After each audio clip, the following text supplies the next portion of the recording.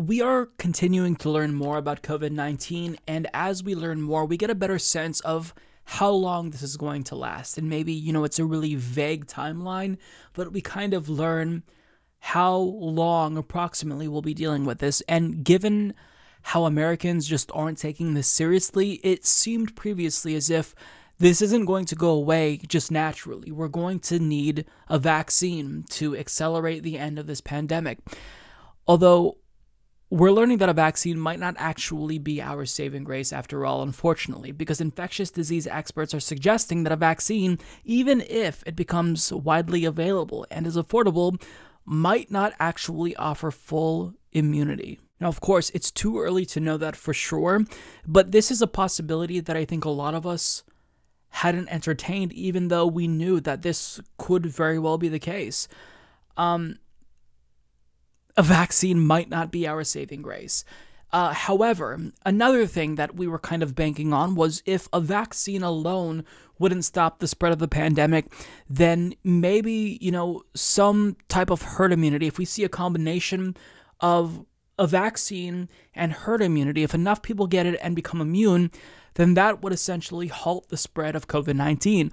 Although that's something that also doesn't seem likely as well, because the immunity enjoyed by recovered patients may not actually last forever. In fact, COVID 19 reinfections are now popping up, which basically diminishes any hope that we had of herd immunity.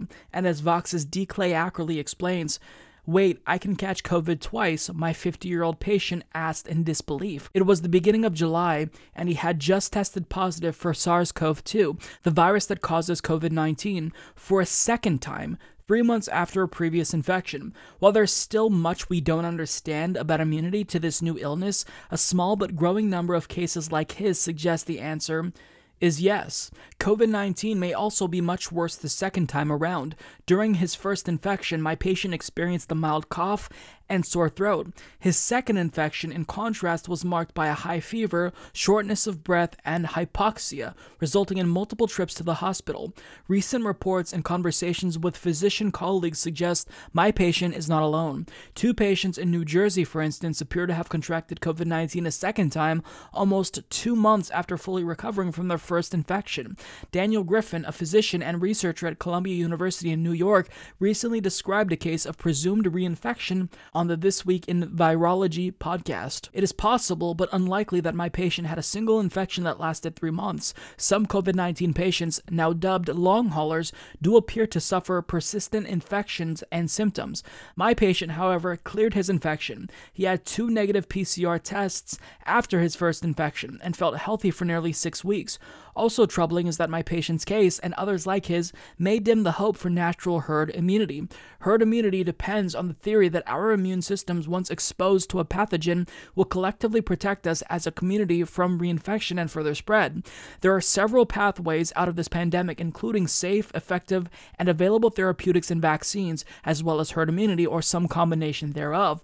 Experts generally consider natural herd immunity a worst case scenario backup plan. It requires mass infection and, in the case of COVID 19, massive loss of life because of the disease's fatality rate before protection takes hold. Herd immunity was promoted by experts in Sweden and early on in the pandemic in the UK with devastating results. Now, there is a caveat to this story with this particular patient that this doctor writes about. They did not receive an antibody test, so maybe it's the case that this person uh, you know, just didn't create a strong enough antibody response, thus allowing for the relapse or the reinfection, I should say. Uh, but this is really, really just it, it's it's like a gut punch to hear this, right? Because everything that we looked at to be, you know, our hope, it seems like it's falling apart, right? If a vaccine wasn't going to do it, then I guess maybe herd immunity, but that's not going to do it. So the implication is that we have to be really realistic about what we're dealing with and how long it's going to last, especially considering that Americans aren't going to take this seriously. And if Americans don't take it seriously, then the rest of the world will also suffer because of our irresponsibleness. Um, but we're going to deal with this for quite some time. And the uh, World Health Organization just issued a really stark warning about just that. As Andrea Germanos of Common Dreams reports, the head of the World Health Organization warned Monday that a return to the old normal was not in the foreseeable future and urged global leaders to act cooperatively to control the coronavirus pandemic. Let me be blunt too many countries are headed in the wrong direction. WHO Director General Dr. Tedros Adhanom Ghebreyesus, I probably butchered that name, said in a media briefing. Tedros' remarks came as the total number of total coronavirus cases continued ticking upward, nearing 13 million globally. More than 570,000 COVID 19 deaths have been recorded worldwide, over 134,000 of which were in the United States. The United States, which has the highest number of cases in the world, recorded over 3.2 million cases as of Monday, an increase of over 60,000 Sunday. Infections continue to rise in dozens of U.S. states, including Florida, which on Sunday broke the national record for the largest single day increase in coronavirus cases with over 15,000. The WHO chief didn't single out the U.S. in his comments, but noted the epicenter of the virus remains in the Americas, where more than 50% of the world's cases have been recorded. The trajectory of the pandemic, if governments fail to roll out a comprehensive strategy focused on suppressing transmission and saving lives, and individuals don't take public health measures like wearing masks is clear, said Tedros. If the basics aren't followed, there is only one way this pandemic is going to go, Tedros said. It's going to get worse and worse and worse. I want to be straight with you, he continued. There will be no return to the old normal for the foreseeable future, but he stressed it is never too late to take decisive action. And in response to his warning there, um, we're not going to take decisive action. Donald Trump's administration has washed their hands of this issue. In fact, Trump is formally withdrawing us from the World Health Organization. On top of that, he's tweeting conspiracy theories about how the media, the CDC experts are lying about COVID 19, all to hurt him and the economy. Because if you hurt the economy by, you know, advocating for prolonged shutdowns, then you then hurt Donald Trump in turn. Except this isn't about Donald Trump. This is happening in the world. And we've just decided we're not going to take it serious. So it's going to be here for a really long time. And it's not just going to be here for a long time, it's going to get worse and worse and worse. This is this is catastrophic. I don't know what else to say. I mean, right when we flatten the curve and it kind of looks like we're taking this seriously, we see cases skyrocket and as they're skyrocketing, we're taking it less seriously now than we were back in March. I mean, this is just it's tiring. It's really tiring.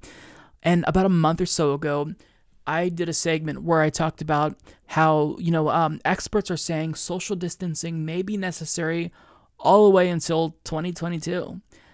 Except that was kind of like a worst case scenario. Now it's not looking like that's going to be a worst case scenario. It seems like it's going to be the likely case scenario, or that the worst case scenario will be what actually comes to fruition because we're just not taking it seriously. And look, it's not just the United States who's handling it like absolute idiots, it's other countries as well, but nobody is doing as poorly as the United States, where the government has just completely ignored it and is not even trying to help save, you know, the economy, not even providing any relief to Americans with the exception of a one-time $1200 payment. I just I don't know what to say. This is going to destabilize the world.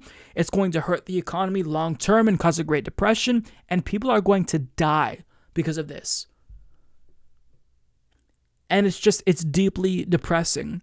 By the time we hit November, we're going to be at around 200,000 deaths due to COVID 19 in the United States alone, according to some experts, based on projections. And that is so heartbreaking to consider. 200,000 people in America alone died, but not to mention all the people around the world, hundreds of thousands of people who are dying. Because humanity just can't get its act together. It can't get its act together to stop a pandemic. It doesn't seem to want to get its act together to stop climate catastrophe. I mean, it just seems like our species hasn't advanced enough to stop these types of wicked problems. We're just pretending like they're not a thing, and whatever consequences come to fruition as a result of these catastrophes, we're just letting it happen. So it, it's sad, but this is the um, harsh reality. We can't promise ourselves that it's going to get better once a vaccine becomes available because that's wishful thinking. Maybe it will happen, but I mean, the doctrine that a physician from the Vox article said that it's really not actually a good thing to promote this idea that, you know, herd immunity or a vaccine is going to uh, stop this pandemic because then that will encourage people to engage in risky activity. They may think, well, you know, if they're immune from COVID 19 after they get it, maybe they should just go contract it and get it over with, and then they could resume life as normal. Or, you know, just not worry about it because a vaccine is coming out. No, that's wishful thinking. We have to be proactive. And the fact that we're not actually aggressively taking on this pandemic it shows that this is going to be the new normal for quite some time for the world. And that's really deeply depressing.